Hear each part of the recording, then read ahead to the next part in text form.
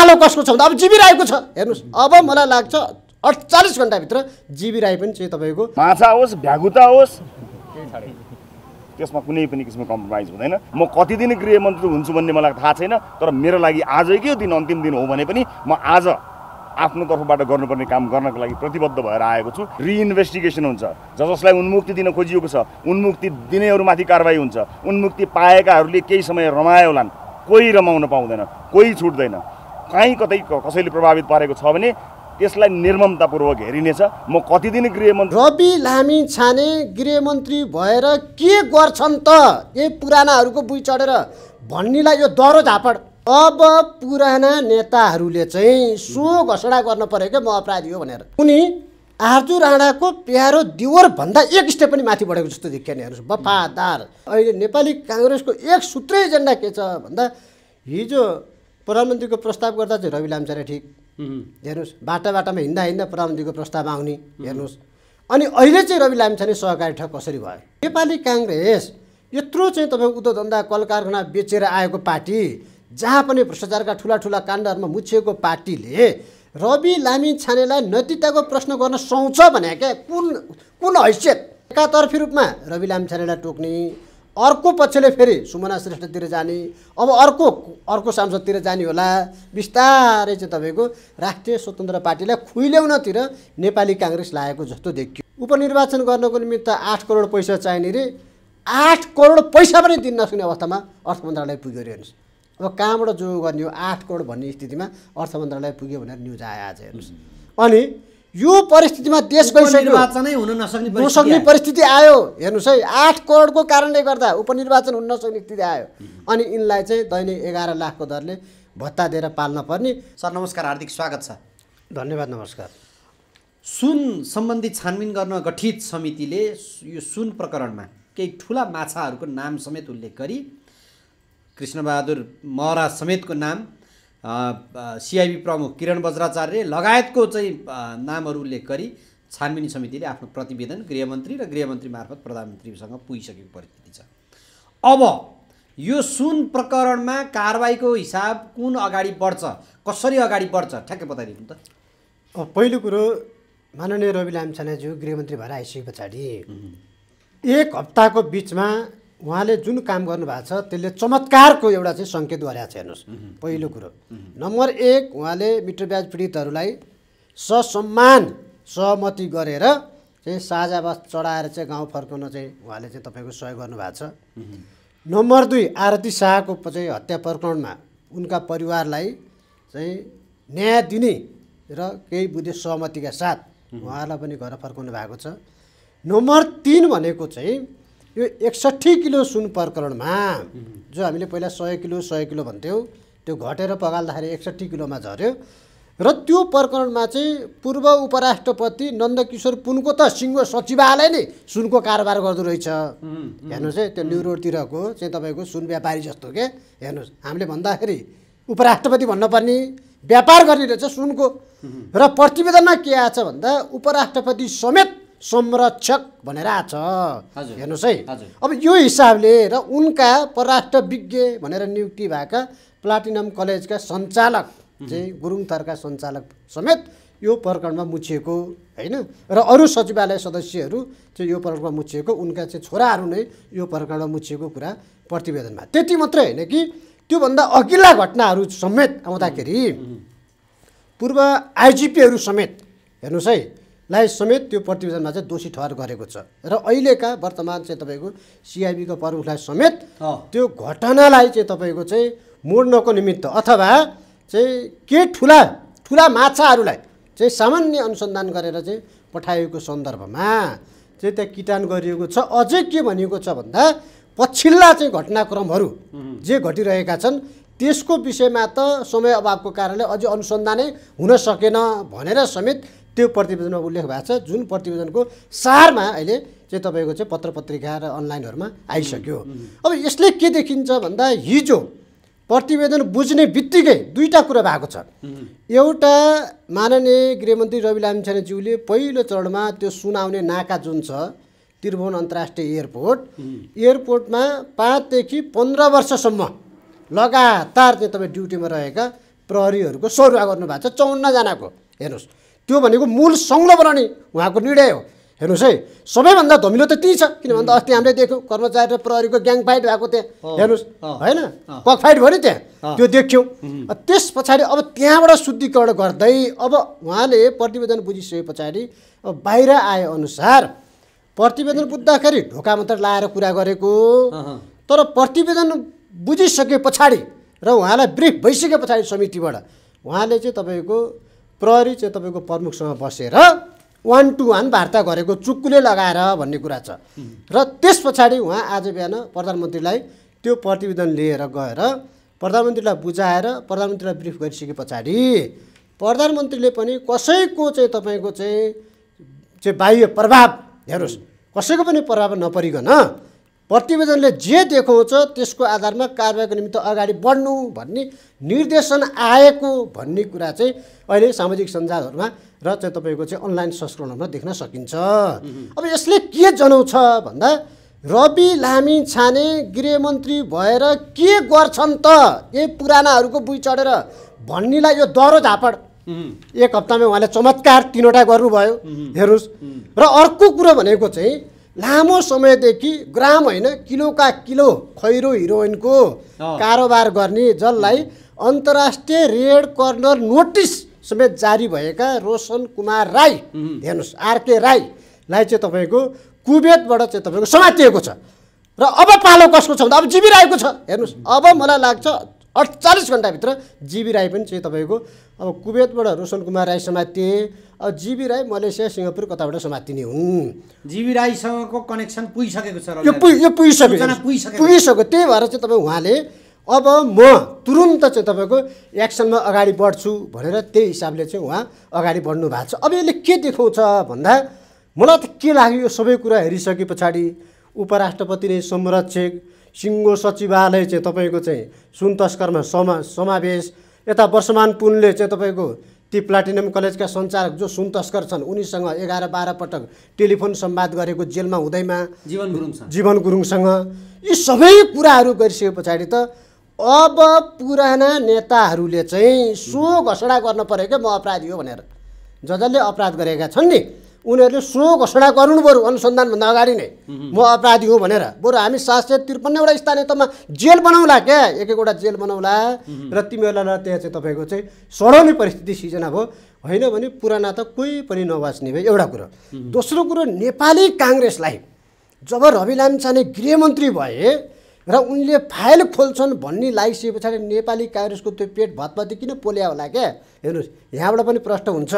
नेपाली काङ्ग्रेसभित्र पनि ती चाहिँ तपाईँको चाहिँ जो भ्रष्टाचारमा मुछिएका छन् हिजोदेखि छयालिस साल पछाडि ज जसका नामहरू आए लाउडा धामी धमिजा होइन चाहिँ तपाईँको चाहिँ वाइट बडी होइन बालुवाटार बाँसबारी यी यावतका चाहिँ तपाईँ बाल मन्दिर होइन चाहिँ तपाईँको चाहिँ तपाईँ टिकापुर पार्क होइन यी सबै प्रकरणमा चाहिँ नेपाली काङ्ग्रेसका पनि माथिल्ला तहका नेताहरू चाहिँ तपाईँको चाहिँ टेरामक्स हुँदै चाहिँ यी प्रकरणमा नेपाली काङ्ग्रेसका पनि माथिल्ला तहका नेताहरू कोही पनि बस्नेवाला देखिएन।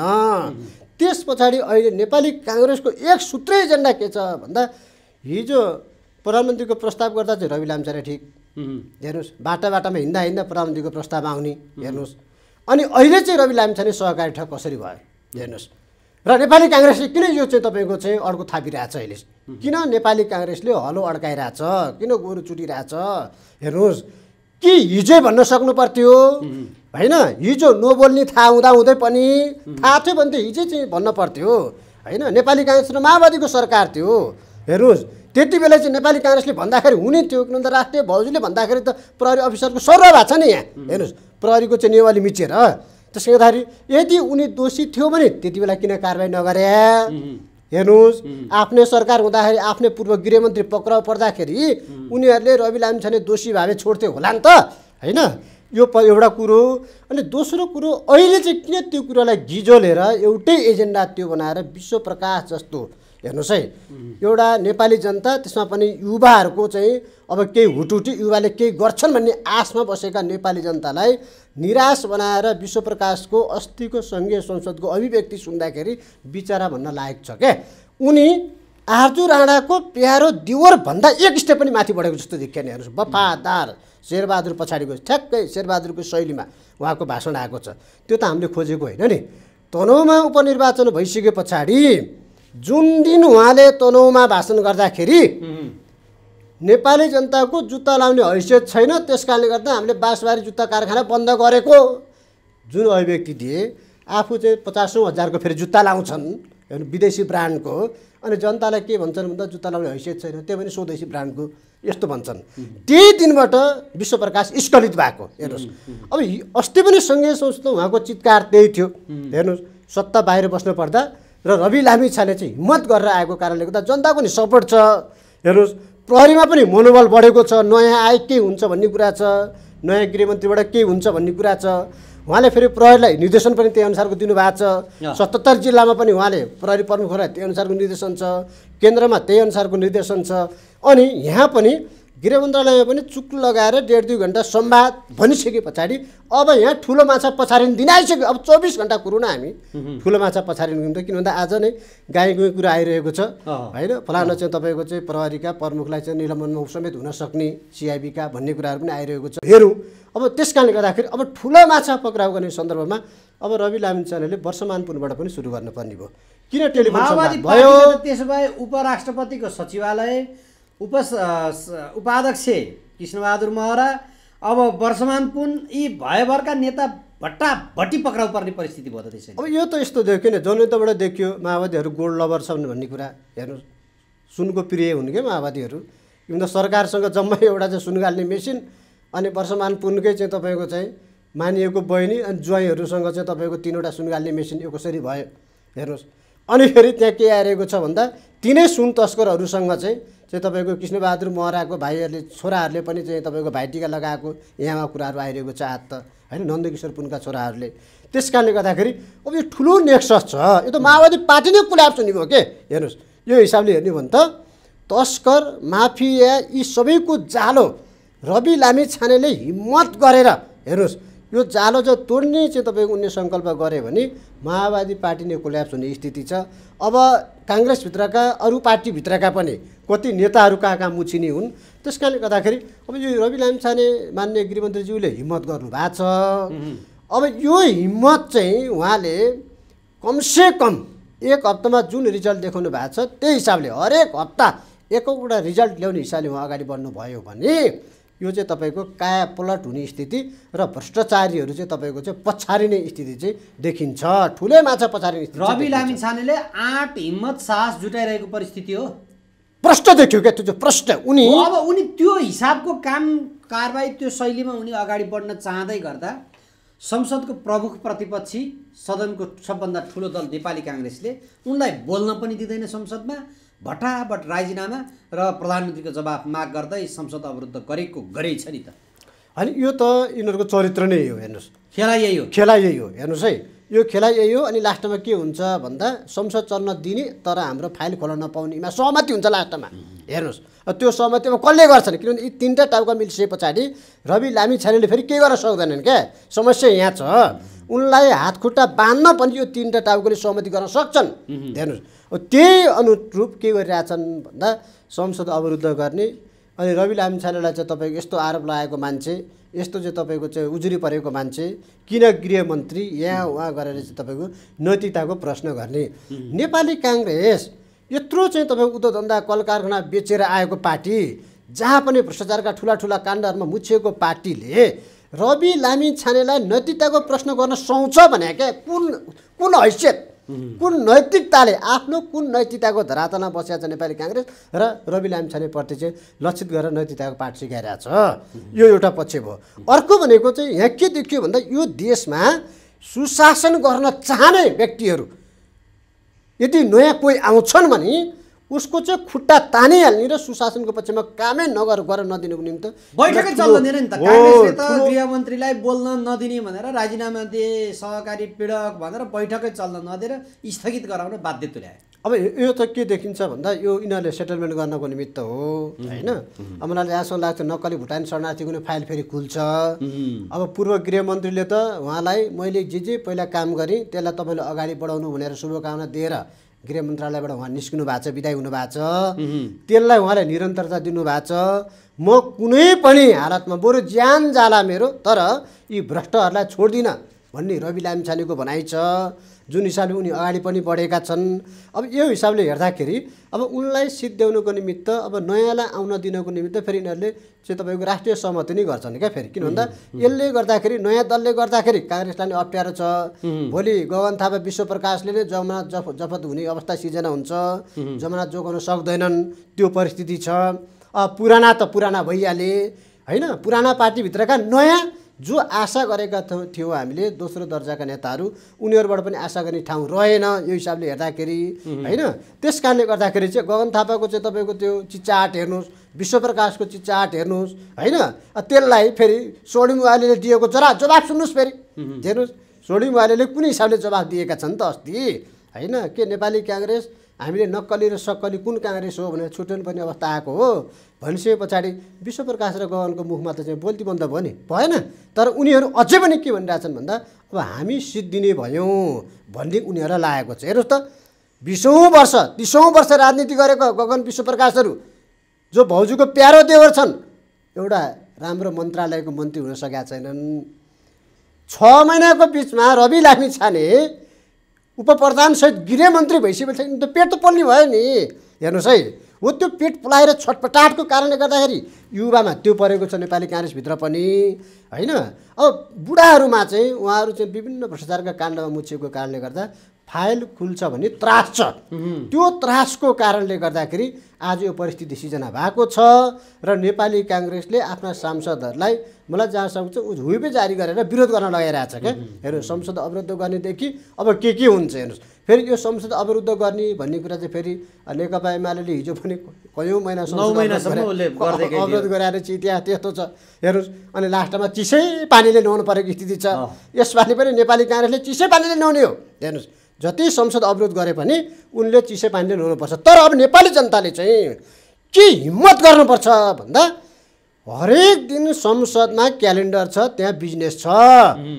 अब संसदको क्यालेन्डरको बिजनेस छोडेर यसरी संसद स्थगित गर्नेतिर लाग्यो भने अब नेपाली काङ्ग्रेसलाई जसले चाहिँ तपाईँको चाहिँ जनताको चाहिँ तपाईँको प्रजातन्त्रको कुरा गरिरहेको छ होइन हाम्रो प्रजातन्त्रको चाहिँ मसियाउँ भनिरहेको छ उसलाई पनि संसदको गेटमै हेर्नुहोस् लट्ठी लिएर बसेर चाहिँ खबरदारी गर्नुपर्ने भयो।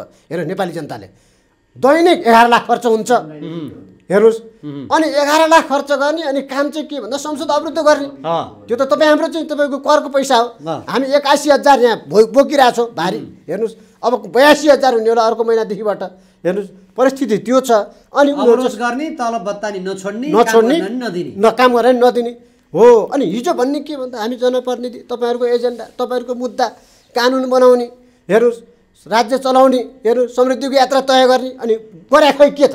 के देख्यो त? हो त्यस कारणले गर्दाखेरि अब नेपाली जनता सचेत नेपाली जनता चुपो लाएर मुखमा टेप लाएर बस्न हुँदैन र बोल्न पाइन्छ भनेर टेप खोलेर हेर्नुहोस् अब नेपाली जनता चाहिँ सङ्घीय संसद घेर्न जानुपर्ने स्थिति भयो। र फलाना दिनको बिजनेस यो छ भनेर क्यालेन्डर हेरेर चाहिँ सचेत बनाउनु पर्ने स्थिति आयो हेर्नुहोस् अहिले काङ्ग्रेसले लिएको स्ट्राटेजी चाहिँ अहिलेका जुन पाँचवटा राजनीतिक दलमध्ये कम्तीमा रवि लामी छानेलाई छुट्याइदिँदाखेरि सरकार ढल्ने हुन्छ।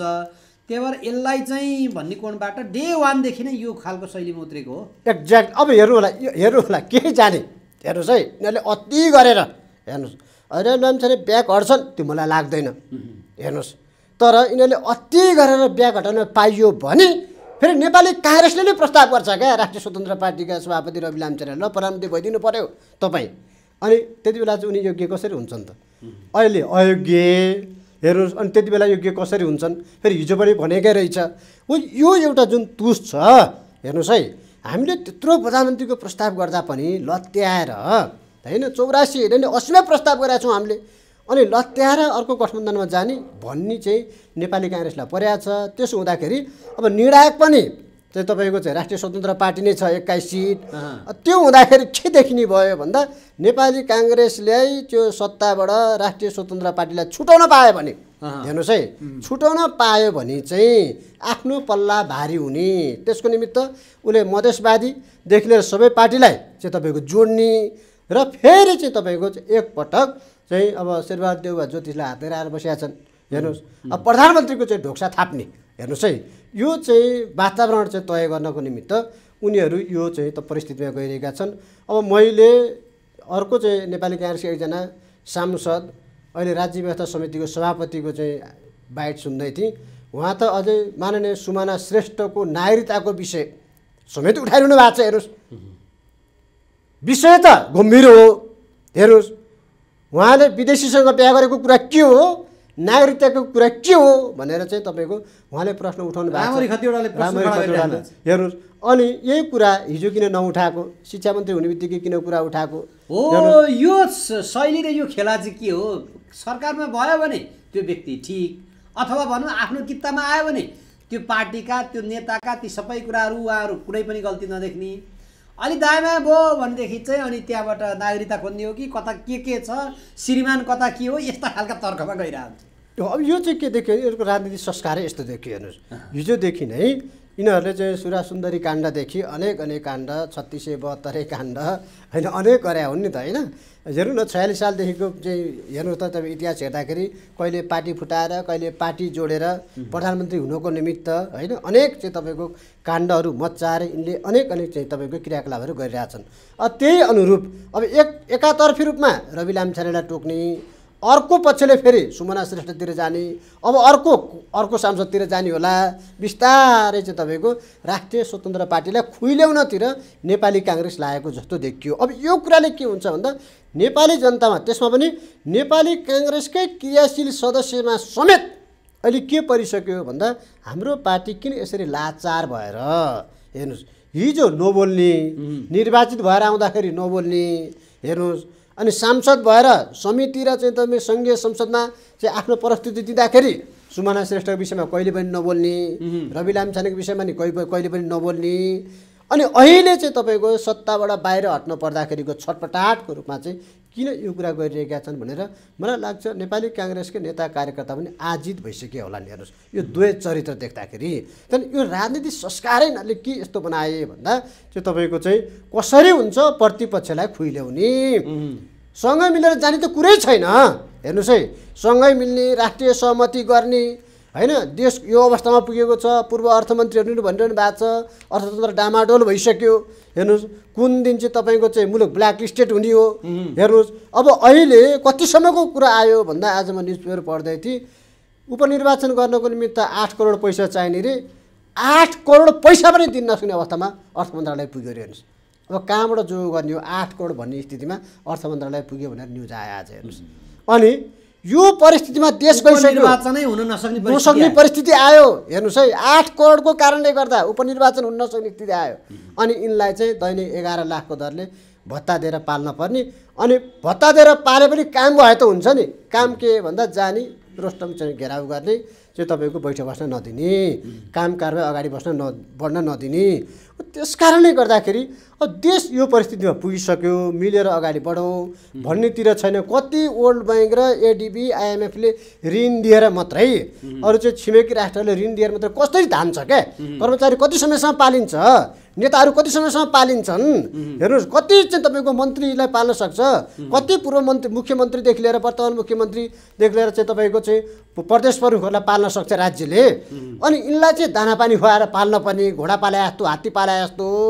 अनि काम कारबाही चाहिँ तपाईँको सुती सुती खाने अनि चाहिँ तपाईँको के गर्ने भन्दा उनीहरूले गरेको चाहिँ उपलब्धि के ठान्ने भन्दा फलानु नेतालाई आज नङ्गाइयो।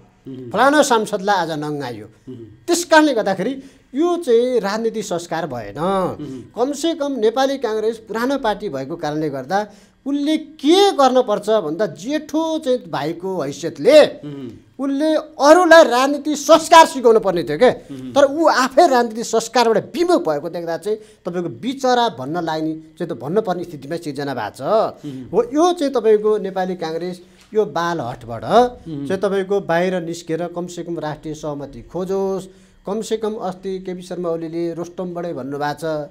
प्रति प्रमुख प्रतिपक्ष भयो भन्दैमा बोलीचाली बन्द गर्नुपर्ने स्थिति किन भयो शेरबहादुरजी? बोलचाल गरौँ सहकार्य गरौँ वार्तामा बसौँ अगाडि बढौँ होइन सबै मिलौँ। यो कुरामा त कमसे कम शेरबहादुरजीले त अस्ति त मुन्टो हल्ला हो नि। जीवनमा मैले पहिलोपल्ट देखेको शेरबहादुरजी त्यसरी हाँसेको हेर्नुहोस्। हाँसी हाँसी मुन मुन्टो हल्ला हो। हेर्नुहोस् हुन्छ हुन्छ पनि भने हो हेर्नुहोस् अनि हुन्छ भन्यो भने किन अवरोध गरे त संसद फेरि? हुन्छ भन्ने संसद अवरोध गर्ने काम कारवाही गर्न नदिने। अब अहिले पनि हेर्नु प्रधानमन्त्रीले मुस्किलले- दिनुभएको छ। मुस- अँ, मुस्किलले चाहिँ तपाईँको बहुमत पुग्छ संसदमा। हेर्नुहोस् सबै उपस्थित भएको त कुनै दिन पनि छैन। सांसदहरू। हो त्यसो भए त काङ्ग्रेस एमाले मिल्नु चलाउनु भइगयो त होइन? यसमा कुनै समस्या पनि रहेन। प्रचण्डले त भनेकै छन् फेरि। हेर्नुहोस्। मिल चलाओ देखाइदियो। मिलो चला हिजो टाउकाको मूल्य तोक बेला पनि मिलेकै हो। हाम्रो टाउकाको मूल्य तोकेको हो तिमीहरूले। अहिले पनि हिम्मत छ भने मिल। चलाऊ त्यो भनेकै छैन उनले फेरि। हेर्नु। उनी पनि चाहिँ तपाईँको चाहिँ यो अन्तिम चाहिँ ढिप्प बत्ती बल्या जस्तो। अब आफै चाहिँ तपाईँको चाहिँ सिद्धिने पक्षमा उनीहरू गइसके। हेर्नुहोस्। नेता कार्यकर्ता कुनै न कुनै भ्रष्टाचार मुछेका छन् छन्। हेर्नु सुन भने माओवादी आउँछ सहकारी भने माओवादी आउँछ सरकारी जग्गा भने माओवादी आउँछ। सबै प्रकरणमा माओवादी नै माओवादी आउँछ। हेर्नुहोस्। अनि फेरि प्रचण्ड के गर्छन्? भन्दा धम्काइरहेको हुन्छन् फेरि बेला बेलामा। हामीलाई हामीलाई यस्तो गर्न खोज्यो भने माओवादी भने के हो? प्रचण्ड भने के हो? हामी देखाउँछौँ। जङ्गल जान्छौँ फेरि भन्छन्। हेर्नुहोस् चुनाव हार्ने परिस्थिति आयो भने जङ्गल जान्छौँ भनिहाल्छन्। हेर्नुहोस् जङ्गल भए पो जानु फेरि। हेर्नुहोस् अनि त्यस कारणले गर्दाखेरि अनि यिनीहरू जङ्गल जानु सक्ने परिस्थिति छ त फेरि अहिले? हेर्नुहोस् अनि गाउँ गाउँमा युवा जति विदेश लहटेर अब त जनयुद्धको त्यो घाइते अपाङ्गहरूले कोदालोको पास हालेर लहट्छन् हेर्नुहोस् यिनीहरू जङ्गल जानु खोज्यो भने। हेर्नुहोस् त्यो परिस्थिति हुन् हुँदा हो हिम्मत गर्ने हो भने र स्थिरताको निमित्त चाहिँ नेपाली काङ्ग्रेस र एमाले मिलेर सरकार बनाऊ नि त होइन? त्यो परिस्थिति पनि त चाहिँ तपाईँको चाहिँ आइरहेको छ त त्यो विकल्प पनि त छ त। त्यो विकल्पमा पनि नजाने। अनि फेरि के गर्ने भन्दा आफ्ना नेताहरूमाथि कारवाही हुन थाल्यो भने आफ्ना नेताको फाइलहरू खोल्ने स्थिति सिर्जना भयो भने र नयाँले केही गर्छ भन्ने हुटुटीका साथ आएर रिजल्ट देखाउने परिस्थिति सिर्जना भयो भने चाहिँ उनीहरूमा यो किसिमको चाहिँ होइन चाहिँ तपाईँको द्वेषको राजनीति गर्ने यो चाहिँ राजनीतिक चरित्र भयो यो राम्रो भयो नि हेर्नुहोस्। कोही पनि संसारमा यस्तो राजनीतिक चरित्र चाहिँ देखि संसद अवरुद्ध हुने कुरा एउटा छ होइन? तर एउटै इस्युलाई लिएर पटक पटक दैनिक जसो संसद अवरुद्ध हुनुपर्ने चाहिँ परिस्थिति चाहिँ यो किन सिर्जना भयो भन्ने चाहिँ तपाईँको चाहिँ आम नेपाली जनतामा चाहिँ त्यो परेको छ। त्यही फ्रस्ट्रेसनले पनि क्या बरु तिमीहरूले चाहिँ तपाईँको जुधेर चाहिँ कुकुर जुधे जस्तो कुकुर बिराल जस्तो लडेर खाऊ हामी देश छोड्छौँ भनेर देश छोड्नु बाध्य भइसके। आज हेर्नुहोस् त काठमाडौँ त एउटा ट्रान्जिट पोइन्ट भयो क्या। गाउँबाट काठमाडौँ आउने ट्रान्जिट यहाँबाट चाहिँ विदेश हानिदिइहाल्ने। काठमाडौँ भनेको ट्रान्जिट भइसक्यो। अब हेर्नुहोस्। परिस्थिति त्यस त्यहाँ गइसक्यो। यिनीहरू अझै चेत्दैनन् हेर्नुहोस्। अनि अनि जनतालाई चाहिँ मलेसिया पठाउने हेर्नुहोस् है। अनि यिनीहरू चाहिँ मलेसियाबाट काठ ल्याएर घर बनाउने फेरि हेर्नुहोस्। अति देख्नु भएन आर्जु डाँडाले भन्नुभएको राष्ट्रिय भाउजूले मलेसियाबाट काठ ल्याएर घर बनाएको यता टुक्रालाई पाँच हजार दस हजार कति कति हो भनेर सँगै सँगसँगै बोल्दै हुनुहुन्थ्यो। हेर्नुहोस्। हरियो वन नेपालको धन भनिन्छ। हाम्रो जङ्गलका चाहिँ काठहरू कुहिएर गएको छन्। हेर्नुहोस् अनि मलेसियाबाट काठ ल्याएर घर बनाउने हैसियत के हो शेरबहादुरको फेरि? हेर्नुहोस्। त्यस कारणले गर्दाखेरि भ्रष्टाचारमा लिप्त भएकाहरू जो भ्रष्टाचारका शिखर चुमिसकेका छन् यिनीहरूलाई चाहिँ त्यो डर छ। रवि लामी छानेले फेरि चाहिँ तपाईँको त्यो डर चाहिँ यिनीहरूलाई चाहिँ तपाईँको हुने हिसाबले काम कारवाही अगाडि गरिरहेका छन्। त्यो हुनाले चाहिँ यिनीहरू चाहिँ राष्ट्रिय स्वतन्त्र पार्टीलाई खुलेउलोतिर लागिरहेछन्। अब सुमना श्रेष्ठले पनि अस्ति एउटा टेलिभिजन अन्तर्वार्तामा चाहिँ नायकताको विषयमा प्रश्न पार्नु भएको छ है त्यहाँ। अब उहाँले यदि उहाँले बोलेको कुरा सत्य हो भने उहाँले के भन्नुभएको छ भन्दा म नाय नेपाली नायकता देखाएर नै मैले चाहिँ तपाईँको उम्मेदवारी दिएको। नेपाली नायकता बिना त उम्मेदवारी दिने मिल्दैन। हेर्नुहोस् हेर्नुहोस् है। त्यस कारण अब निर्वाचन आयोगले नेपाली नायकताको आधारमा उम्मेदवारीको सिफारिसको निमित्त चाहिँ उनलाई चाहिँ तपाईँको स्वीकृत गरेको छ। सङ्घीय संसदमा उनले चाहिँ शपथ खाएर अहिले मन्त्री भइसकिन्। अनि उनले गर्न खोजेको के कुरा छ अहिले भन्दा यो चाहिँ विद्यालय विश्वविद्यालयहरूबाट त्यो विद्यार्थी राजनीतिको कुरा जो गरिरहनु भएको छ उहाँले होइन? विद्यार्थीहरूले राजनीति गर्न नहुने कुराहरू। र राइट मेन राइट प्लेसका कुराहरू गरिरहेछन्। त्यहाँबाट चाहिँ के भन्दा अब यिनीहरूको त नेता उत्पादन गर्ने फ्याक्ट्री नै विद्यालय र विश्वविद्यालय भएको छ हेर्नुहोस् है तीबाट ढुङ्गा हानेर आएको हामी त यिनीहरूले पटकबाट भनिरहेछन्। रेलिङ भाँचेर ढुङ्गा हानेर आएका हौँ हामी। भन्छन् यिनीहरू गर्वको साथ भन्छन् अँ। हेर्नुहोस् कोही जनयुद्ध गरेर आएका भन्छन् गर्वको साथ फेरि। जनता मारिएको कुरा थाहा छैन। हेर्नुहोस् अपाङ्ग घाइतेहरू कति गोली लिएर बसेका छन् थाहा छैन। हेर्नुहोस् अनि कोही चाहिँ के भन्छन् भन्दा "ए, हामी ढुङ्गा हानेर आएको रेलिङ भाँचेर आएको हेर्नुहोस् कफन बाँधेर आएको जीवन र मृत्युको दोसाँतबाट आएको। फेरि यिनीहरू भन्छन् हो त्यही कुरामा पनि अब शिक्षा मन्त्रीज्यूको त्यो एक्सन एउटा आइसके पछाडि अनि यिनीहरू चाहिँ अतालिएको जस्तो अब त हाम्रो त चाहिँ तपाईँको ग्राउन्डै सिद्धिने भयो। विद्यार्थी राजनीति नै सकिसकेपछि त ग्राउन्ड सक्यो पुरानो दलको। हो त्यो पनि यिनीहरूलाई परेको छ। त्यस कारणले गर्दाखेरि यिनीहरू यो तहको हत्कण्डा चाहिँ अपनाउनुको निमित्त अब विवश भएको भनौँ कि चाहिँ तपाईँको यिनीहरूको चाहिँ चरित्र नै यस्तो भनौँ। हेर्नुहोस् यस्तो चाहिँ यिनीहरूको दुवै चरित्र चाहिँ देखिएको छ। तर अझै पनि चाहिँ तपाईँको नेपाली काङ्ग्रेस र दोस्रो पुस्ताले चाहिँ कमसे कम नयाँ दलसँग सिकेर क्या हेर्नुहोस्। नयाँ दलसँग नयाँ युवा भयो भन्दैमा राम्रो काम गर्छन् भन् भनी सिक्न नहुने भन्ने हुँदैन क्या सिक्न मान्न हुँदैन। हेर्नुहोस्। सिकुन्। र चाहिँ तपाईँको चाहिँ लयाइमा फर्किउन् भन्ने आम जनताको चाहना छ हाम्रो पनि त्यही कुरा छ। तर यिनीहरू त्यसलाई मान्न तयार हुँदैनन्। न त मान्न तयार नभइसके पछाडि के भन्दा विनाशकारी विपरीत बुद्धि हो। सकिन्छन् यिनीहरू। सिद्धिन्छन् चौरासीसम्ममा। चौरासी हुन्छ। पालन शाहले भने जस्तो यिनीहरूको चौरासी हुनेवालै देख्यो क्या। यिनीहरूको कुकर्मले पनि यिनीहरूको चौरासी नगरिकन नहुने स्थिति चाहिँ देखिया छ। अब यो एउटा पाटो भयो। तर अब यथास्थितिमा जुन हिसाबको काङ्ग्रेसको राजनीति देखियो सदन अवरुद्ध गराइराख्ने सदनलाई अगाडि बढाउन नदिने र आगामी दिनमा कारबाही काम कारबाही गर्न नदिने परिस्थितिले त यो सरकार अथवा त्यहाँका गतिविधिहरू कुन रूपमा अगाडि बढ्लान् त यसरी त? होइन यो त अब सबै अवरुद्ध भइहाल्यो नि। सदनै अवरोध गरिसके पछाडि अघिल्लो पटक पनि बहत्तर करोड खर्च गरे बहत्तर त्रिहत्तर करोड खर्च भयो जम्मा एउटा ऐन बन्यो। हेर्नुहोस्। अब यो दोस्रो चाहिँ अधिवेशन सुरु भएको छ। अब यसमा पनि खासै चाहिँ विषय प्रवेश गरेको जस्तो देखिएन। मात्र के भयो भन्दा फेरि प्रचण्ड प्रधानमन्त्री भए। हेर्नुहोस्। त्यतिमा त्यति मात्रै हो। हेर्नुहोस्। प्रचण्डले तेर्याएर विश्वासो मत लिए। हेर्नुहोस्। दोस्रो अधिवेशन पछाडि प्रचण्डले फेरि एक चरण खादामाला लाए। हेर्नुहोस्। अनि चाहिँ तपाईँको प्रधानमन्त्री रूपमा आफूलाई टिकाउन सफल भए। यो यो यो पाटोमा नि जस्तो अलि अगाडि जति बेला बालकुमारी घटना प्रकरणमा त्यति बेला प्रतिपक्षमा रहेकाहरू प्रकाश ज्वालाको राजीनामा भन्थे। अब तिनलाई कारवाही गर्नुपर्छ भन्थे। त्यसो भए अब ती सरकार हट्ने साथै अटोमेटिक हटे।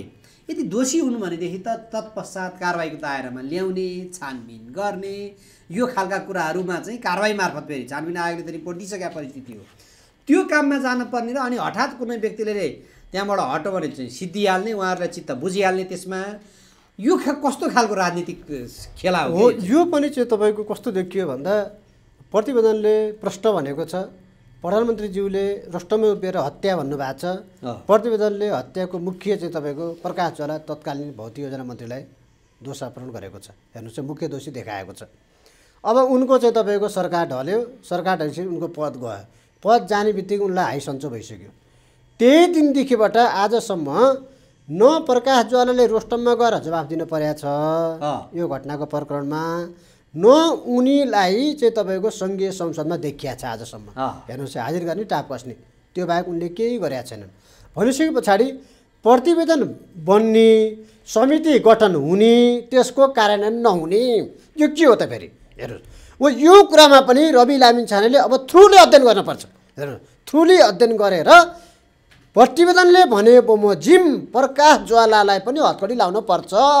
हेर्नुहोस् त्यो भयो भने मात्र के हुन्छ भन्दा यो चाहिँ तपाईँको समिति गठन गर्ने कार्यदल गठन गर्ने अनि चाहिँ राज्यको ढुकुटी खर्च गरेर प्रतिवेदन तयार हुने यसको चाहिँ अर्थ रहन्छ। होइन भन्दा हामीले यस्ता प्रतिवेदनहरू दर्जनौँ हेऱ्यौँ। हेर्नुहोस् विभिन्न घटनाक्रम हुन्छ प्रतिवेदन आउँछ। प्रतिवेदनले के भन्छ तपाईँ एकजनालाई दोषी ठहर गर्छ अनि उसले राजीनामा दिन्छ सक्यो।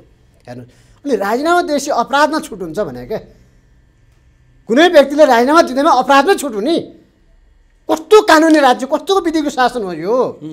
जनता चाहिँ बयालिस वर्ष पछाडि पनि चाहिँ तपाईँको चाहिँ रेड कर्नर नोटिस आएर चाहिँ तपाईँको जेलमा कोच्ने जनतालाई चाहिँ नेतालाई चाहिँ जस्तोसुकै अपराध गरे पनि चाहिँ तपाईँको चाहिँ राजीनामा दिएपछि सकिने। जे पदमा हो त्यो पदबाट राजीनामा दिएपछि सकिने। विभिन्न प्रकरण हेर्नु न होइन? सत्तरी करोडको प्रकरण भन्नुहोस् राजीनामा दियो सक्यो। अरू अरू प्रकरण पनि आइरहेको छन् राजीनामा दियो सक्यो। ए बालकुमारी घटना प्रकरण राजीनामा दियो सक्यो। तर यो के भन्दा राजनीति व्यतीत हो कुसंस्कार हो। यो कुसंस्कारको जगमा कहिलेसम्म चाहिँ तपाईँको चाहिँ पुराना दलहरू अडिरहन सक्छन्? हेर्नुहोस्। के नयाँ दल पनि यो कुस कुसंस्कारको जगलाई सहर्ष स्वीकार गरेर अगाडि बढ्छन् त? यो प्रश्न छ त्यसले गर्दा म यहीँबाट के आह्वान गर्छु भन्दा रवि लामिछानेज्यू तुरुन्त। अब भोलि शनिबार भयो पर्सि आइतबारको दिन तुरुन्त। पूर्व भौतिक योजना मन्त्री वर्तमान सांसद प्रकाश ज्वालालाई गृह मन्त्रालयमा झिकाएर त्यो प्रतिवेदन चाहिँ तपाईँको चाहिँ आधारमा उनलाई चाहिँ तपाईँको चाहिँ कारबाही अगाडि बढाइयोस्।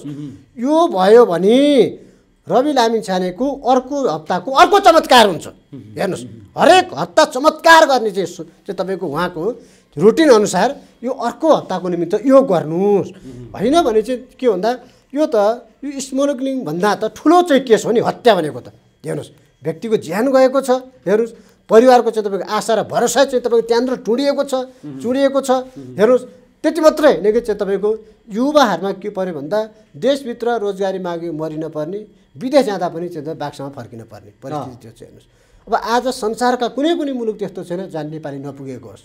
नामै नसुनेका मुलुकहरूमा समेत नेपाली चाहिँ पुगेका छन्। पचास लाख तिरेर करोड तिरेर हिँडेर अमेरिका पुगेका छन्। हेर्नुहोस् जाँदा जाँदै बाटोमा बाटोमा मर्नुपर्ने स्थिति छ। कोही पुगेर कोमामा चाहिँ तपाईँको चाहिँ परेर फेरि चाहिँ तपाईँको लास फर्केको स्थिति छ। अनि यहीँभित्र चाहिँ तपाईँको यस्तो चाहिँ नेताहरूले गरेको यो कुकर्ममा चाहिँ राज्यले चाहिँ तपाईँको कारवाही गर्नु पर्दैन कारवाही गर्नुपर्छ। रवि लामिछानेले हिम्मत गर्नुपर्छ। बरु पद गए गयोस् क्या तर उहाँले त प्रश्न पारिसक्नु भने ज्यान मार्ने धम्की आयो भनेर। संसदभित्र उहाँलाई राजीनामा बाहिर ज्यान मार्ने धम्की। के हो? रवि लामी छाने व्यक्ति देशका लागि उनीहरूलाई घाँडो भएको परिस्थिति हो। अब यस्तो देखियो। अब वर्तमान गृहमन्त्रीले पनि ज्यान मार्ने धम्की आयो भन्नु। पूर्व प्रधानमन्त्रीले मेरो ज्यान जोखिममा छ भन्नु फेरि के वर्तमान प्रधानमन्त्रीले पनि प्रचण्डले म पनि जोखिममा छु भनेर अभिव्यक्ति दिइरहनु। यो गर्न खोजेको के हो? बालवाला गृहमन्त्री नै चाहिँ ज्यान जोगाउन गाह्रो हेर्नु प्रधानमन्त्रीलाई ज्यान जोगाउनु गाह्रो रहेछ हामी त धन्न बाँचिरहेको रहेछौँ। हेर्नुहोस् उहाँहरू बुलेट प्रुफ बुलेट प्रुफ गाडी छ अगाडि पछाडि अगुवा पछुवा छ। हेर्नुहोस् त कमसे कम नयाँ केही गरौँ भन्नेलाई चाहिँ त्यो हुनसक्छ। किनभने माफिया तस्करहरूले घेरेको छ। हेर्नुहोस् केही गरौँ भन्नेलाई त्यो गर्न सक्छन्। फेरि इतिहास पनि त्यस्तै छ नेपालको। हेर्नुहोस् है। तर पूर्व चाहिँ त धेरैपटक प्रधानमन्त्री भएर ती तिनपटक प्रधानमन्त्री भइसकेको मान्छे बालवाला प्रधानमन्त्री बलुवाटारको त्यत्रो डेढ दुई सय रोपनीको कम्पाउन्डमा बसेको मान्छे चारैतिर तिन तहका सुरक्षाकर्मी राखेर बसेको मान्छे समेत प्रधानमन्त्री हुनुहुन्छ उहाँ आफै भन्नुहुन्छ म चाहिँ खतरामा छु। ल हेर्नुहोस् अहिले के भन्न खोजिया हो अब जनता चाहिँ कति खतरामा छ अन्त त्यसो भए प्रधानमन्त्रीले त्यो भन्न सुहाउँछ त। पहिलो कुरो प्रधानमन्त्रीले त्यो भन्नै सुहाउँदैन। अब गृहमन्त्रीले पनि म के भन्छु भन्दा उहाँलाई यदि त्यस्तो किसिमको धम्की आएको हो भने त्यो हुत्याएर लाची को रहेछ। त्यसको चाहिँ तपाईँको कल डिटेल सार्वजनिक गरिदिनु पऱ्यो क्या। हेर्नुहोस् त्यो त फोनमै आयो होला धम्की त। हेर्नु त्यो सबै कुरा रेकर्ड भइहाल्छ। उहाँले त्यो सार्वजनिक गरिदिनु पऱ्यो त्यो कारबाही जनताले टुडी खेलमा राखेर कोरा हान्छ क्या त्यसलाई। को हो त्यो? हेर्नुहोस् कुन शक्ति हो? हेर्नुहोस् जसले चाहिँ तपाईँको सुशासनको पक्षमा काम गर्न चाहेको छ ऊ माथि नै चाहिँ धावा बन्ने को हो त्यो? हेर्नुहोस् त्यसलाई जनताको जनअदालतमा तपाईँले चाहिँ चाहिँ खडा गरिदिनुहोस्। चिनाइदिनुहोस् न हामीलाई होइन? जनताले कारवाही गर्छ नि उसलाई टुडी खेलमा राखेर चाहिँ तपाईँको त्यस कारणले गर्दाखेरि यो अभिव्यक्तिले चाहिँ के हुन्छ भन्दा फेरि देशको चाहिँ तपाईँको सुरक्षा र प्रशासनमाथि नै धावा बन्ने जस्तो देखिन्छ क्या? यो भन्नै हुँदैन हेर्नुहोस्। कसैले पनि बालमा रहँदाखेरि पदमा रहँदाखेरि यो किसिमको अभिव्यक्ति दिनु चाहिँ तपाईँको उचित होइन। तर अब नयाँलाई यो आएको हुनसक्छ नयाँ यो चाहिँ सबै कुरा राज्यको संयन्त्रमा चाहिँ भिजिसकेको हुँदैन। हेर्नुहोस् फेरि अब सुरक्षाकर्मीहरू पनि के छ? पार्टी चाहिँ तपाईँ सबै चाहिँ त पार्टी पार्टीमा विभाजित छन् त्यो त हामी प्रष्ट देख्छौँ। सरुवा बढुवाको क्रममै कुन सरकार आउँदाखेरि कुन कुन चाहिँ अफिसरहरूको बढुवा हुन्छ हेर्नुहोस्। कुन कुनका चाहिँ सरुवा हुन्छ को कोलाई कारवाही पर्छन् यो कुरा त हामी प्रष्ट बुझ्छौँ नि। त्यसले गर्दाखेरि के बुझ्छौँ भन्दा अनि रिटायर भइसकेपछि उहाँहरू कुन पार्टी रोज्नुहुन्छ फेरि? यहाँ त पार्टी पनि रोज्दै हिँडेको छ नि त। हेर्नुहोस् आइजिपी भइसकेका मान्छे एआइजी भइसकेको मान्छे पार्टीमा लागेर सांसद हुन जान्छ। यो देश यस्तो हो फेरि। हेर्नुहोस् एउटा सुरक्षाकर्मीले पूर्व सुरक्षाकर्मीको हैसियतले चाहिँ तपाईँको पेन्सन खाएर राज्यलाई सेवा गरेर बस्ने हो कि? पार्टी छानेर चाहिँ फेरि चाहिँ तपाईँ अर्को चाहिँ राजनीतितिर लाग्ने हो। यो त साउथ इन्डियन मुभी जस्तो भइहाल्यो। हेर्नुहोस्। त्यस कारणले गर्दाखेरि चाहिँ अब यसमा पनि अब उहाँहरूले किन यो अभिव्यक्ति दिनुभयो? हेर्नु साँच्चै चाहिँ धम्की आएर नै हो कि? अथवा स्वस्थ लोकप्रियताको निमित्त हो कि? अथवा चाहिँ इमोसनल ब्ल्याकमेलिङ पो गर्न खोज्नु भएको कि जनतालाई? यो कुरा नि प्रश्न पार्नु पऱ्यो अझै प्रश्न र चाहिँ जनताको कुरा जनताकै भाषामा जनताकै शैलीमा भन्ने भएको कारणले गर्दा मान्य गृहमन्त्रीज्यूले चाहिँ यो कुरा प्रश्न पारिदिनु पऱ्यो कि कोबाट त्यस्तो सुरक्षा थ्रेट भयो? हेर्नुहोस्। जनताले त मानेकै छन्। हेर्नुहोस् गुड लक रवि दाई भनेकै छन्। हेर्नुहोस् भनी कसले गर्यो त्यस्तो हो? हो त्यसलाई चाहिँ तपाईँको चाहिँ उहाँले सार्वजनिक गरिदिनु भयो भने अझै उत्तम हुन्छ।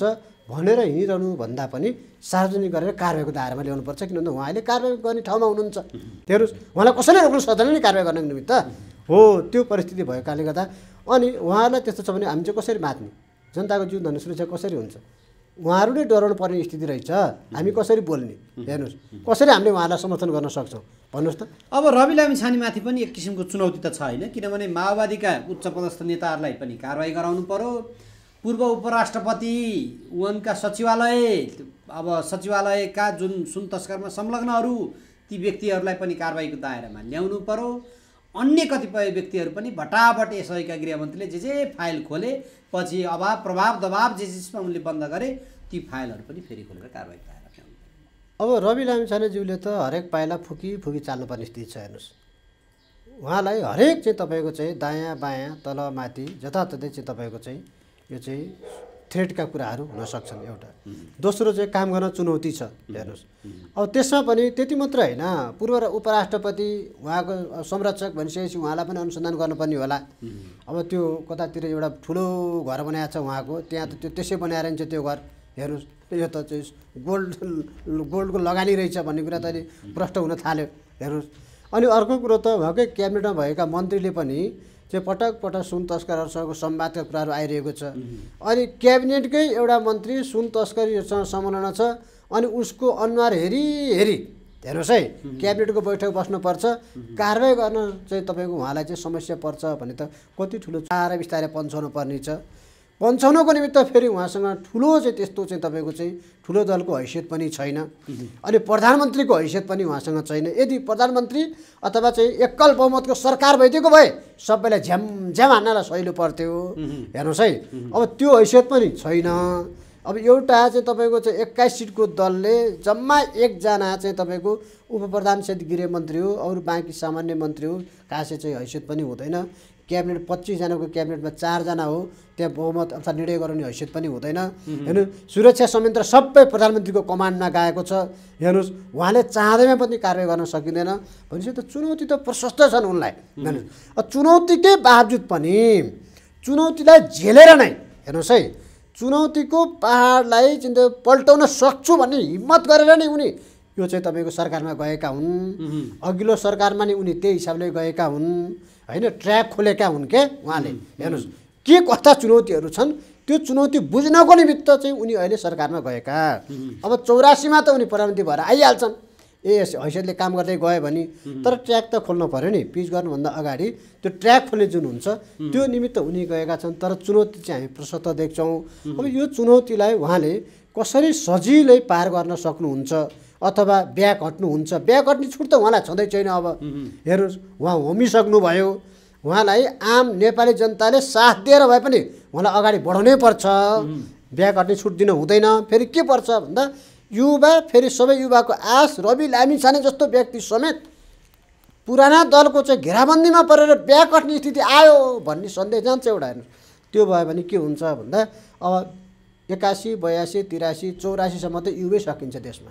हेर्नुहोस् त्यो फ्रस्ट्रेसनको कारणले गर्दाखेरि। अनि चौरासीमा चाहिँ तपाईँको उम्मेदवार उठाउने युवा पनि नपाउने स्थिति हुनसक्छ क्या यो देशमा त। कोही बस्न चाहेन नि त। रिटायर कर्मचारी सब विदेशभाषी नि हेर्नुहोस् सब डिबी चाहिँ तपाईँको के अरे ग्रिन कार्ड र पिआर लिएर बस्ने। विद्यार्थीहरू चाहिँ तपाईँको एघार बाह्र पढ्ने सबै विदेश भाषी नै हेर्नुहोस् विश्वविद्यालय खाली हुने वृद्ध आश्रमको स्थितिमा पुग्ने। अनि गाउँ सबै चाहिँ तपाईँको रित्तो हुने सहर ट्रान्जिट पोइन्ट मात्रै हुने। अनि नेपाली जनताको थाहै बसोबास त विदेशी भूमि मात्रै हुने भयो क्या। देशै चाहिँ तपाईँको सिद्धिने रित्तिने अवस्था सिर्जना भएको छ। त्यस कारणले गर्दा त्यो आशलाई त्यो जनताको चाहिँ तपाईँको आशलाई सार्थक बनाउनको निमित्त पनि रवि लामिछाने अगाडि चुनौती हुँदा हुँदै पनि बरु उहाँले यस्ता किसिमका चुनौती आइलाग्यो मलाई भनेर जनताकोसँग साथ लिँदै जनताको चाहिँ तपाईँको अभिमत र जनताको साथका साथ उनी अगाडि बढ्नुपर्छ उनलाई बिहा काट्ने छुट छैन र चुनौतीलाई उहाँले पार गर्न पर्ने हुन्छ तर यो कस्तो छ भन्दा फेरि फलामको चिउरा नै छ हेर्नुहोस्। किन भन्दा पुराना दलहरू राज्य संयन्त्रमा सबै उनका चाहिँ कर्मचारीहरू निजामती कर्मचारी सुरक्षाकर्मी होइन चाहिँ स्थानीय तहदेखि केन्द्रसम्मको उनीहरूको जुन नेक्सस छ नि त्यो नेक्सस भत्काउन चाहिँ उहाँलाई धेरै गाह्रो छ हेर्नुहोस्। त्यसले गर्दा यसलाई बिस्तारै जनतालाई बुझाउँदै बुझाउँदै बुझाउँदै हेर्नुहोस् उहाँले अगाडि बढ्नुपर्ने छ। त्यसो हुँदाखेरि चुनौतीको पाड हुँदाहुँदै पनि फेरि उहाँलाई काम गर्नुभयो भने फेरि नजिकै अवसर पनि छ। अरू जस्तो पच्चिस वर्ष तिस वर्ष राजनीति गर्नुपर्ने अवस्था छैन। हेर्नुहोस् चारै वर्षमा हेर्नुहोस् प्रधानमन्त्री हुने अवसर पनि उहाँको निमित्त छ। अब हेर्दै जाउँ अब कसरी चाहिँ तपाईँ उहाँ अगाडि बढ्नुहुन्छ। हेर्नुहोस् हामीले त यसरी खाँदै थापिरहेछौँ। हेर्नुहोस् अहिले चाहिँ तपाईँको चाहिँ उहाँको विरोध गर्नेहरूले समेत कहाँ थापेको परिस्थिति छ। त्यही त उहाँलाई त्यो त हौसला हो। यति हौसला त मलाई जहाँसम्म लाग्छ। कुनै पनि नेताले यति हौसला पाएको छैन हेर्नुहोस्। र हौसला पाएकाहरू कोही जीवित पनि छैनन् हेर्नुहोस्। हेर्नुहोस् हौसला पाएका थिए कतिपयले। मदन भण्डारीहरूले हौसला पाएका थिए। यो कार्यशैलीकै पार्टमा जस्तो अब अनावश्यक खेलाडीहरू अथवा खेलका पदाधिकारीहरू लिएर चाहिँ नि बहराइनमा जान लागेको टोलीलाई विराज भक्त श्रेष्ठले सुरुमा आउने साथै रोकेको परिस्थिति छ। उता सुमना श्रेष्ठ आफ्नो कोणबाट कसरी के गर्न सकिन्छ भनेर विभिन्न छलफलहरूमा लागिरहनु भएको छ। रवि लामिछानेको हामीले यत्रो चर्चा गरिहाल्यौँ। अब प्रचण्डको अहिलेको सरकारमा देखाउन लायक केही मन्त्री हुन्छन् भने राजसभा मात्र हुने हो। अब अहिलेको परिस्थितिले चाहिँ देखिया छ। अब नारायण श्रेष्ठबाट हेरौँ के हुन्छ। उहाँले रुसमा फँसेका नेपालीहरूको सन्दर्भमा कुटनीति पहल गर्नुभएको छ। हेर्नुहोस् कामको त हामीले सम्मान त गर्नुपर्छ। होइन? अब अरू अरू देशमा युक्रेनका कुराहरू छन्। अब हेर्नुहोस् त रुसबाट पनि नेपाली दाजुभाइ लड्ने युक्रेनबाट पनि नेपाली दाजुभाइ लड्ने फेरि अग्र मोर्चामा लड्ने अनि एउटा नेपालीले अर्को नेपालीलाई गोली हानेर मार्ने अनि लास्ट नेपालीले भित्राउनु पर्ने बिहोर्नु पर्ने। हेर्नुहोस् त्यस्तो परिस्थिति। अनि क्षतिपूर्ति जो भनिन्छ क्षतिपूर्ति भन्ने शब्द त अलि नमिल्ला तर जो राहत भन्ने जुन कुरा छ राहत पनि नेपाली हुँ गएर लिनुपर्ने थियो। अहिले कमसेकम यहीँ नेपालबाट चाहिँ त्यो व्यवस्था भयो भन्ने कुराहरू आइरहेको छ। हेर्नुहोस् अब सरकार छ भनिएको छ नेपाली जनताहरू कुन कुन देशमा कतिको सङ्ख्यामा छन् त्यो सरकारलाई अत्तो छैन। हेर्नुहोस् तपाईँले भने जस्तै जम्बो टोली बनाएर हेर्नुहोस् है भरभर जानुपर्छ यिनीहरूको विदेश मोह कस्तो फेरि त्यो डलर खानाकै भत्ता खानको निमित्त। त्यो जहाज चढ्न र भत्ता खानको निमित्तै चाहिँ तपाईँ यिनीहरू जाने विदेश जाने पर्ने होइन? अब चाहिँ राखेपमा हेर्नुहोस् अब क्रिकेट खेलाडीको तलब अठार हजार रे अनि त्यो पदाधिकारीको तलब सभा लाख रे हेर्नुहोस्। खेलाडीको अठार हजार के खाने खेलाडीले? चाउचाउ र ग्लुकोज पानी? चाउचाउ र ग्लुकोज पानीले खेलाडी चाहिँ खेल्न सक्छ त। हेर्नुहोस् त परिस्थिति त्यो छ। त्यही भएर नेपाली खेलाडीहरू हेर्नुहोस् त महिला खेलाडीले त्यत्रो कीर्तिमान गरे अब उनीहरू चाहिँ विदेशी कोलामा भाँसिनुपर्ने स्थिति छ। घर चलाउन मुस्किल छ।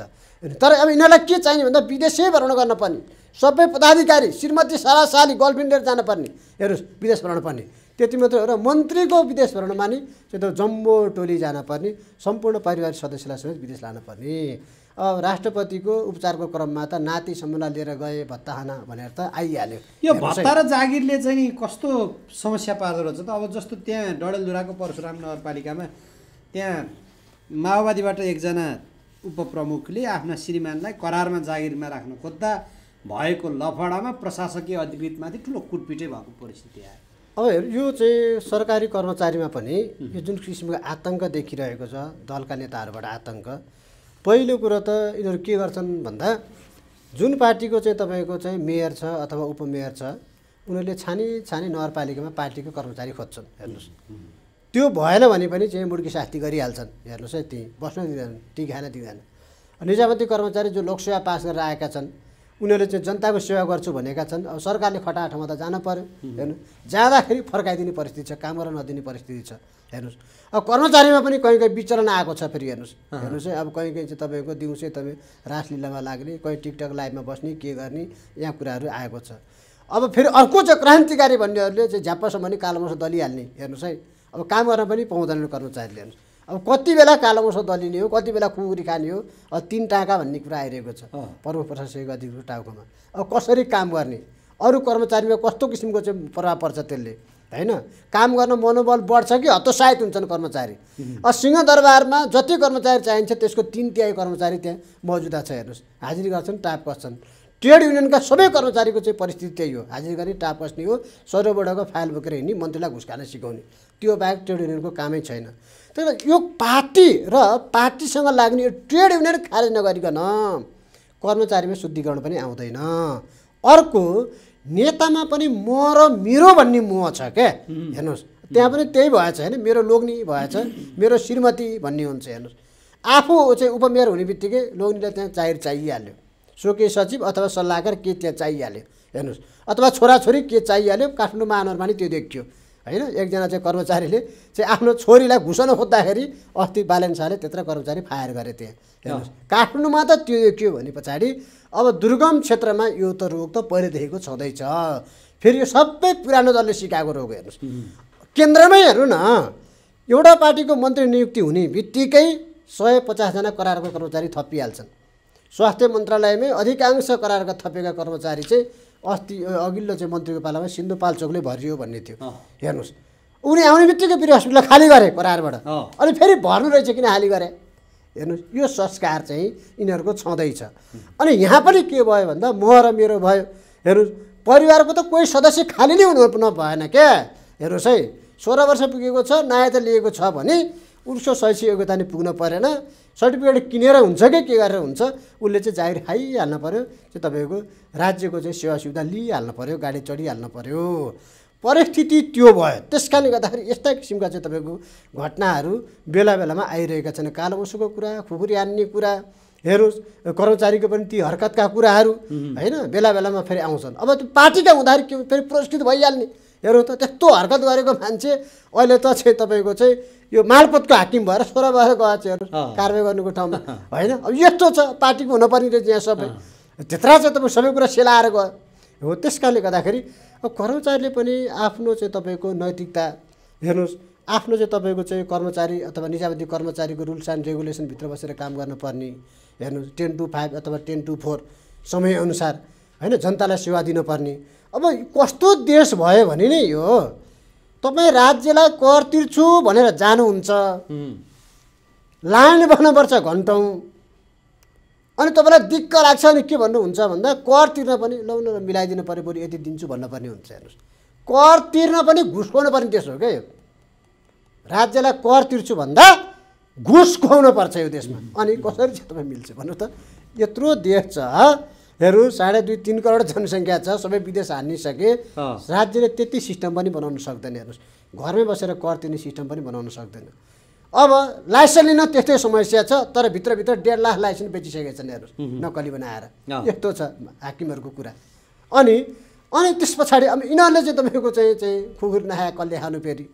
हेर्नुहोस् है यस्तो छ नि त केही मात्रै देखिया छ नि त।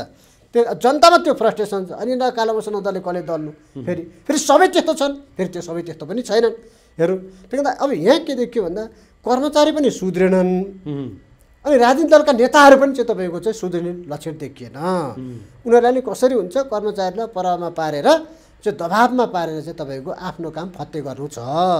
त्यो हुँदाखेरि अहिले यो विकृतिहरू देखिएका छन्। यो अहिले पछिल्लो घटना पनि त्यही विकृतिको एउटा चाहिँ तपाईँको पक्षको रूपमा छ। तर यस्तो कुराले पहिलो कुरा सेवाग्राहीलाई सेवा दिने क्रममा कर्मचारीको मनोबलमा गिरावट आउँछ। यो दलका नेताहरूले बुझ्नुपर्छ। दोस्रो कुरा चाहिँ तपाईँको चाहिँ खालि म र मेरो प्रवृत्तिबाट कसरी मुलुक चल्छ कसरी चाहिँ पार्टी बन्छ कसरी तिम्रो सङ्गठन बन्छ हेर्नुहोस् कमसेकम राइट म्यान राइट प्लेस त हुनपर्छ नि। रिवार्ड एन्ड पनिसमेन्टको व्यवस्था त हुनपर्छ नि। त्योबाट किन विमुख भइरहेछन् दलका नेताहरू? म र मेरो भनिसकेपछि हुने हेर्नुहोस् हाक्का हाक्की चाहिँ तपाईँको चाहिँ तपाईँको भ्रष्टाचारमा मुछिएका मानिसहरू चाहिँ तपाईँको पुरस्कृत भइरहेको हुन्छ। हेर्नुहोस् त्यही भएर राष्ट्रपतिले दिने तकमाको पनि कुनै मूल्य छैन यसले हेर्नुहोस्। तकमा पाउने बित्तिकै चाहिँ तपाईँको यहाँ तिरस्कृत हुने पर्ने अवस्था छ गाउँ समाजमा हेर्नुहोस्। पाउन त पायो तकमा दलभित्र देखिएका विकृतिमै अन्तिम अन्तिममा पनि छौँ। यो खास गरिकन नागरिक उन्मुक्ति पार्टीमा। उता परदेशतिर हेरौँ भने पुरानो गठबन्धनमा चाहिँ नि गएर भयभरका सांसदलाई मन्त्री संसदीय समिति सचेतक पद दिएर त्यहाँ थामथुम गरेको परिस्थिति छ। केन्द्रमा फेरि श्रीमतीले हामी त प्रचण्डलाई मत दिने हो विश्वासको मत भनेर। विश्वासको मत दिएको परिस्थिति छ। परदेशतिर अब श्रीमानले लिड गर्ने केन्द्रतिर श्रीमतीले लिड गर्ने के खालको परिस्थिति त्यो चाहिँ पार्टीभित्र छिन्न भिन्न यो देखिएको छ। कोही प्रतिपक्षतिर लाग्ने कोही सत्तापक्षतिर लाग्ने लाग्न चाहिँ लागे लागे गर्ने। हो यो सत्ताका रस आस्वादन भनेको यो हुन्छ क्या रञ्जिता श्रेष्ठ एकचोटि मन्त्री भइसकिन्। उनलाई त्यो सत्ताको रस होइन चाहिँ तपाईँको उनको शरीरका अङ्ग अङ्गमा पसिसक्यो। हेर्नुहोस् सुरक्षाकर्मीको अगुवा पछुवा मन्त्रीको क्वार्टर होइन चाहिँ तपाईँको विभिन्न भेटघाट व्यापारीहरूसँगको उठबस होइन ब्रिफकेसका कुराहरू होला मन्त्री हुने बित्तिकै सबै हुन्छ नि त फेरि। यी सबै कुराहरू फेरि विदेश भ्रमण सम्मान खादा माला यसले गर्छ क्या कुरा सबभन्दा ठुलो। अब हुन त श्रीमान श्रीमतीको झगडा परालको आगो यसमा हामी बोल्नुभन्दा नबोल्नु उचित। फ्याट भोलि उनीहरू मिलिन्छन् भनि पनि सकिन् उनले।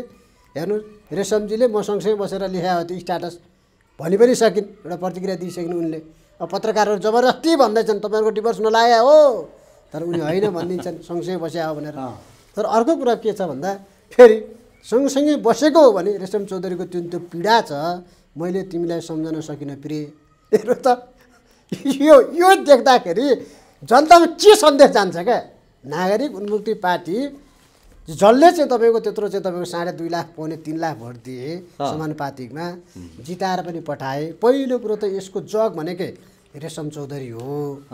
उनले वारेसबाट पनि निर्वाचन जितेको पहिला पनि। अनि चाहिँ तपाईँको उनी निर्वाचित भएर आए यिनीहरूले सांसद बनाए फुली लाए हातमा हतवडी पनि लाए। हेर्नुहोस् अझै पनि विचाराधीन मुद्दा छ। कति बेला जेल जाने हो। रिगलकै कुरालाई नजिर मान्ने हो भने उनको जेलको यात्रा तय हुन्छ जुनसुकै बेला पनि। अब श्रीमतीले नै अब मान्छे के भन्छन् भन्दा हिजो श्रीमतीले नै जेलबाट छुटायो अब श्रीमतीकै कारणले जेल जानुपर्ने हो कि? रेशम चौधरी यो खटपट बढ्दै गयो भने दूरी बढ्दै गयो भने त्यो पनि भन्न थालेका छन् तर उहाँहरूको कुरा सुन्दाखेरि फेरि त्यस्तो फाटो छैन जस्तो पनि देखिन्छ। अब फाटो छैन भने मैले तिमीलाई सम्झन सकिनँ प्रिय भनेर लेख्नुपर्ने किन? सामाजिक सञ्जालमा सार्वजनिक गरेर। यो त घरभित्रको कुरा थियो घरभित्रै मिलाउनु पर्ने थियो। होइन यो त बेडको कुरा थियो नि त होइन?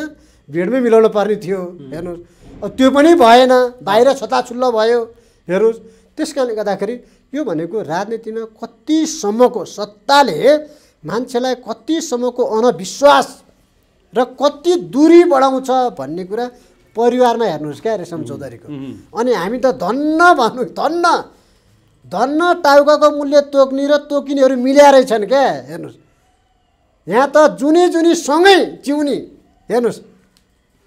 पाले पुण्य मारे चाहिँ तपाईँको चाहिँ हत्ते पाप भन्ने त्यस्तो सङ्कल्प लिएको मान्छेको त दूरी बढ्यो। अनि छुट्टा छुट्टै स्कुलिङबाट आएको मान्छे कसरी मिलेर सरकार बोलायो होला क्या।